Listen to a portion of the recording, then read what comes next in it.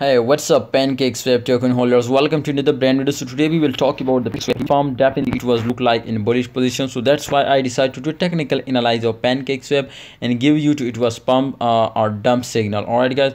Remember, if you are new my channel and if you want to subscribe this channel, kindly subscribe and if join if you want to join free signals uh, group now in Telegram, definitely the link is in the description.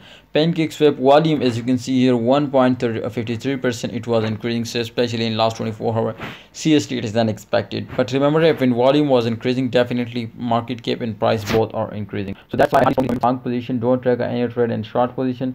You will need to focus on long position and this time i hope you guys pancakes go so my friend if you want my friend this type more videos kindly subscribe this channel and press the bell icon and select the all option for videos notification. If you want to join premium telegram group the link is in the description